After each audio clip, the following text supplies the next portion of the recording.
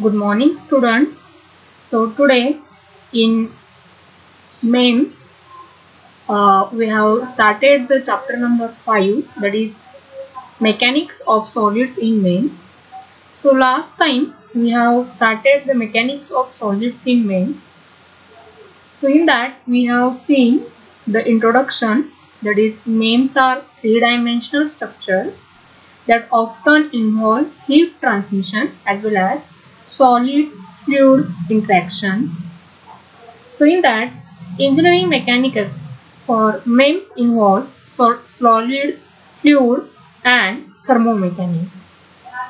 So it is solid mechanics and dynamics then fluid mechanics, thermomechanics we have already seen. Then so in order to utilize the mechanical aspects of MEMS device, most MEMS devices must be capable of motion. So according to that, fundamental differences between micromechanisms and macromechanisms. So component design limitations up to two-dimensional shapes only cannot make ball, bearings, roller, bearings, etc. So in minimum feature size and tolerance, we have to develop the design. Then friction we have to take into the consideration. So for mechanics of materials, there are some basic concepts which we have seen that is Newton's laws of motion. So first, second and third we have seen. Then equilibrium condition for that. Then stress and strain and the material properties. So in that we have seen that stress so stress is the internal resistance offered by the body to the external load applied to the per unit cross-sectional area. So we have seen that is stress is given by to, uh, this stress is equal to P by A. So force divided by area. And for the unit for this stress is the Newton per meter square or we can say Pascal so that is megapascal, gigapascal and kilopascal. Then we have seen the types of stresses. So normal stress, shear stress we have seen and other stresses are also. So that is the combination of the uh, basic stresses that is bending stress that is combination of tensile and compressive and shear stresses. So torsional stress as observed in twisting of the shaft as well as the normal stress. So sigma then we have seen that uniaxial stress. So that is only in a one direction. Biaxial it is from the two direction and triaxial stress is nothing but the three dimension. And tensile compression stresses are nothing but the pulling outside as well as the pushing inside. So bearing stress we have seen then shear stress we have seen when the force acting parallel to the area concerned. Then that tau is nothing but the force divided by area. So there are types of uh, stresses compression, tension, shear, torsion and bending. Then we have seen the strain. So strain is the deformation or displacement of material that results from an applied stress. Okay, means after the applying stress to a particular material, then its deformation or displacement of that the material known as, as the strain. So strain is equal to elongation that is change in length divided by original length. Then in that uh, strain, there are two types, tensile strain and compressive strain. Okay, so tensile strain is the change in length of a body due to the application of tensile stress. And comprehensive strain, it is the change in length of the body due to application of comprehensive strain. Then elasticity, the property of material by virtue of which it returns to its original shape and size upon removal of load is known as the elasticity. So we have seen strain, then stress, then elasticity. So after that we have covered the relationship between the strain and stress and strain and stress curve we have seen. Means how it will work in an electron, uh, sorry, elastic region as well as in a plastic region. So how it is going to be uh, depending upon that the stress and strain uh, that the material properties goes on changing. So there is a stress strain graph explaining their proportional limit, elastic limit, l point, ultimate stress point. Then now for this uh, session we are going to see the Hooke's law. So what is the Hooke's law? It states that within elastic limit, limit stress is proportional to the strain. Okay. So within elastic limit, stress is within elastic limit, stress is proportional to the strain. So that is Hooke's law. Then mathematically we can say that Hooke's law that is E is equal to the stress divided by strain. So where E is nothing but the Young's modulus. E is nothing but the Young's modulus. So when the elastic materials are stretched, uh, the atoms and molecules deform until stress is being applied and when the stress is removed they return to their initial state. Okay, so Hooke's law states that within elastic limit stress is proportional to the strain. So mathematically we can represent that E is equal to stress by strain where E is nothing but the Young's modulus. So when elastic material are stretched, the atoms and molecules deform until stress is being applied and when stress is removed, they return to their initial state. So Hooke's law holds good equally for tension and compression. Okay. So Hooke's law holds good equally for tension and compression. So now we are uh, that is uh, explaining Hooke's law. So here that the different spin as well as that the spring constant we have seen. So Young's modulus we have defined stress by strain. Then we have seen the Poisson's ratio Okay, uh, before that we are going to see Young's modulus. So Young's modulus are also referred as the elastic modulus or tensile modulus.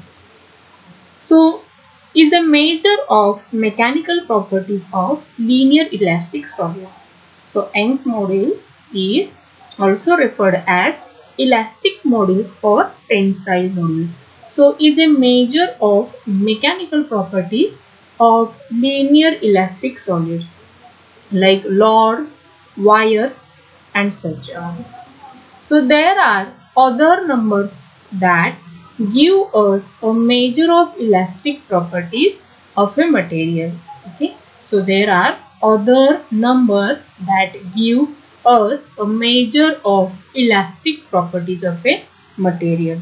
So like bulk modulus and shear modulus but the value of Young's modulus is most commonly used. Okay, so there are other numbers that give us a measure of elastic properties of a material like bulk modulus and shear modulus, but the value of Young's modulus is most commonly used. So this is because it gives us information about the tensile elasticity of a material. So ability to deform along an axis. So this is because it gives us information about the tensile elasticity of a material which gives the ability to deform along an axis.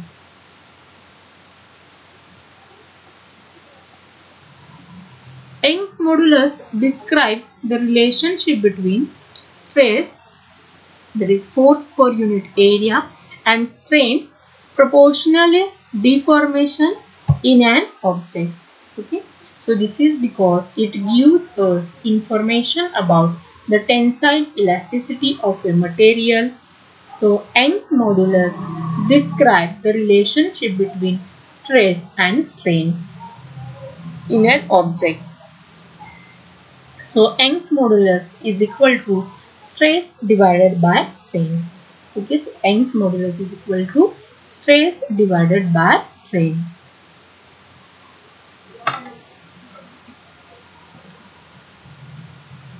So Poisson's ratio or Poisson's effect. So Poisson's ratio, it is defined as the ratio lateral strain to longitudinal strain. Okay, lateral strain to the longitudinal strain. So in figure, if we apply the stretching on elastic body, then there is a lateral strain and longitudinal strain will occur. So Poisson's ratio is nothing but the lateral strain divided by longitudinal strain. So produce single phase is known as the it means the combination of this or ratio of this produces a single phase is known as the Poisson's ratio or Poisson's ratio is the ratio of transverse contraction strain to longitudinal extension strains in the direction of the stretching force. So Poisson's ratio, Poisson's ratio is equal to lateral strain divided by longitudinal strain. Then let us see the Poisson's effect. So when a material is stretched in one direction, it tends to compress in the direction perpendicular to that of force application and vice versa. Okay, so Poisson's effect when a material is stretched in one direction, it tends to compress in the direction perpendicular to that of force application and vice versa. Then the measure of this phenomena is given in terms of the Poisson's ratio. For example, a rubber band tends to become thinner when stretched. Okay, so the measure of this phenomena is given in terms of Poisson's ratio. For example, a rubber band tends to become thinner when stretched. So for the Poisson's effect, symbol that is Greek letter NU V Poisson's ratio is equal to lateral strain divided by longitudinal strain. So what is the range of that Poisson's effect? That is minus 1.0 to plus 0.5. Then what is the unit? So it is unitless quantity because both are nothing but the strain. Then scalar per vector that is it is nothing but the scalar quantity.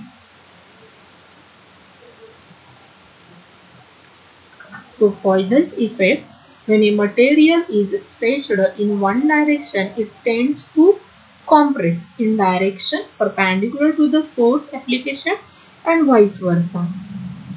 So the measure of this phenomena is given terms of in terms of Poisson's ratio. So for example, a rubber band tends to become thinner when stretched.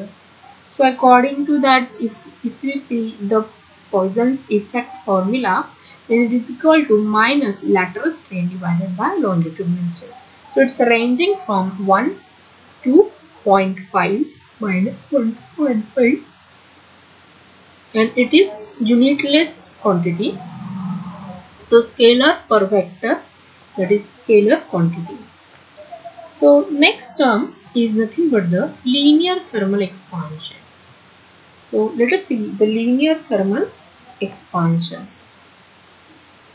So electronic components are used in the automotive, communication, aerospace and other industries. So electronic components are used in the automotive, communication, aerospace and other industries. Miniaturization, higher package density and accelerated development processes have a great impact on the reliability of electronic components. Okay, so miniaturization, higher package density and accelerated development process have a great impact on the reliability of electronic components. So rapid changes of ambient temperature or internal production of heat may occur during operation. So this may create high thermal stresses due to the mismatch of the thermal expansion coefficients of the different materials in electronic components. So for example of the thermal expansion coefficients for typical materials are given below. So gold there is alpha 14 into 2 into 10 raised to minus 6 per kg and silicon 2 to 6 into 10 raised to minus 6 per kg. So linear expansion is nothing but the electronic components are used in the automotive, communication, aerospace and other industries. So miniaturization, higher package density and accelerated development process have a great impact on reliability of electronics components. So rapidly changes of ambient temperature or internal production of heat may occur during the operation. Okay, because in the main we are going to develop that the structure in a miniaturization.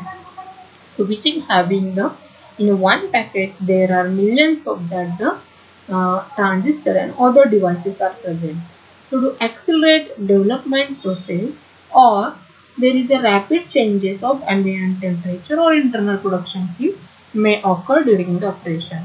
So this may create high thermal stresses due to the mismatch of the thermal expansion coefficient of the different material in electronic components.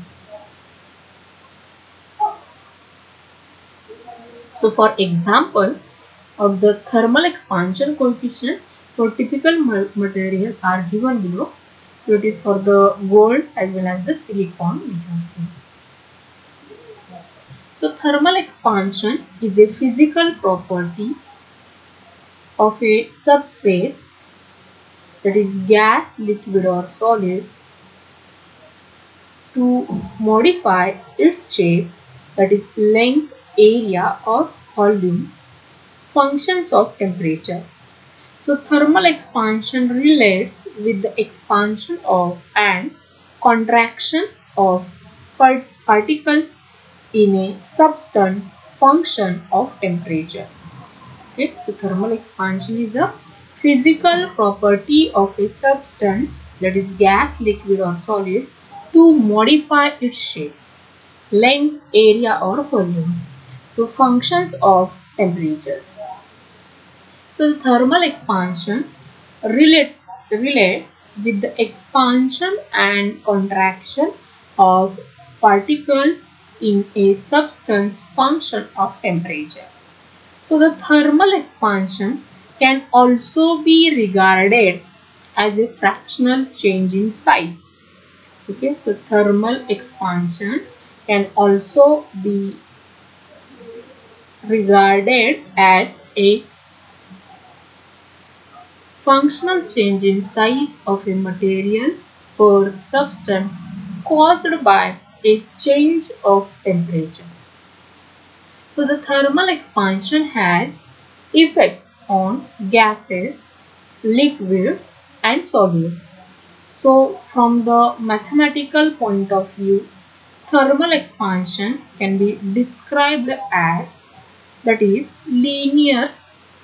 So one directional 1D areal that is two directions 2D and volumetric that is three dimension 3D so the linear and areal that is also called a superficial thermal expansion applies only to solids. The volumetric thermal expansion replies to both solids and liquids.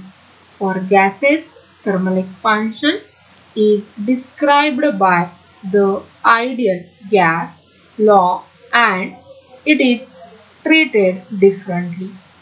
Okay, so the linear and areal. Is also called as superficial. Okay, so thermal expansion applies only to solids.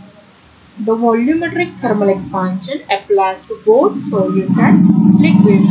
So for gases, thermal expansion is described by the ideal gas law and its principle. Okay, thank you.